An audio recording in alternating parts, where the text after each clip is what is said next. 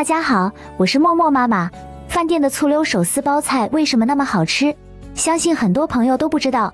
想要做出饭店的味道，还是需要掌握几个小技巧。接下来就跟着我的视频一起来看看是怎么做的吧。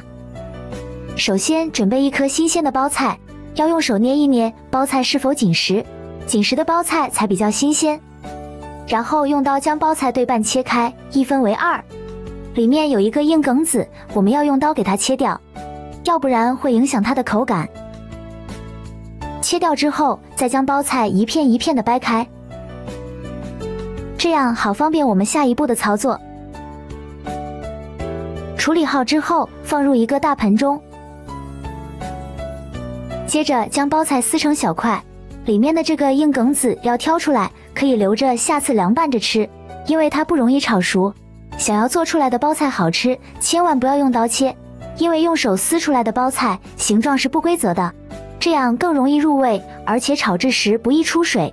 撕好后，往里面加入一勺食盐和一勺小苏打，然后倒入多一些清水没过包菜，然后下手将包菜清洗干净。饭店里面的包菜一般是不清洗的，我们自己在家吃还是清洗干净一点，吃着安全放心。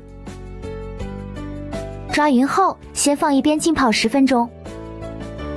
接下来准备一块肥瘦相间的五花肉，将五花肉切成薄片，切好之后放入碗中备用。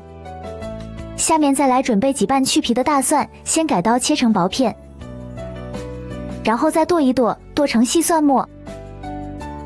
再准备几根小葱白，改刀切成小葱花。一块生姜，先切成薄片。再改刀切成姜丝，最后切成姜末。切好之后放入小碗中。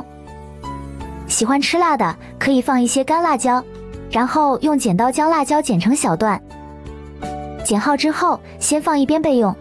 下面碗中加入一勺食盐、一勺鸡精、一勺白糖、一勺十三香，再加入一大勺生抽、一勺香醋。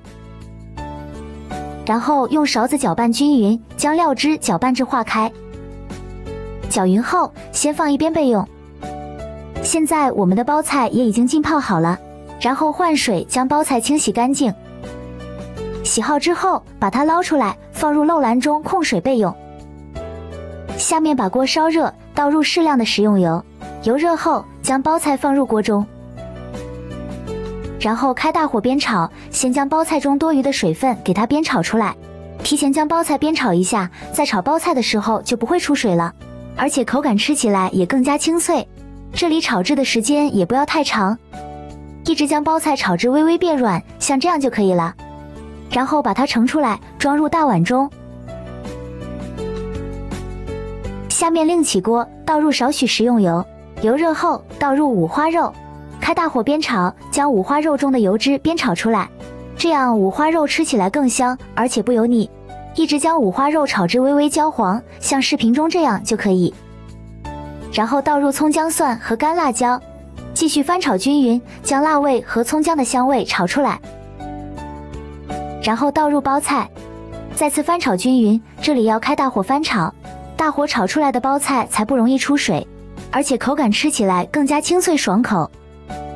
炒匀后，再倒入调好的料汁，继续翻炒均匀，使包菜都能裹上一层料汁，将包菜炒至入味。这里切记不要炒太久，大概翻炒个一分钟左右就可以了。然后把它盛出来，装入盘中，就可以美美的享用了。一盘非常好吃的醋溜手撕包菜就做好了，吃起来非常的开胃又下饭。